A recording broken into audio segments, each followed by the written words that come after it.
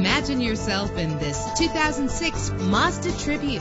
If you're looking for an automobile with great attributes, look no further. With a reliable engine that responds smoothly to its automatic transmission, premium wheels give a more luxurious look.